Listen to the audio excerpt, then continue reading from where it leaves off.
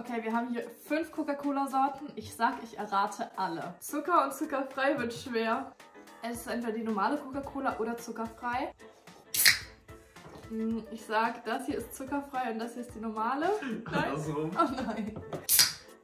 Das schmeckt wie Himbeer. Ja, Richtig? ist richtig. Cola Lemon. Oha, ist richtig. Kirsche. jo! Passt an.